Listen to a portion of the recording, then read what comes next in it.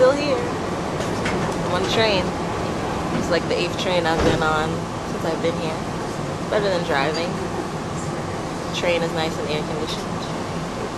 You got something to say? Huh? You have something to say? Contest? Positive? Contest? Oh, yeah, I'm sorry. There's a sticker contest where you have to design the sticker and the description will be in the description. Yeah, so there's a sticker contest. The information will be in the description. That's what I meant to say. And if you have any questions for her about her experience in Japan, first two days, you know, ask her. I'm willing to answer. Make the questions interesting because I feel like I'm interested. All right, peace.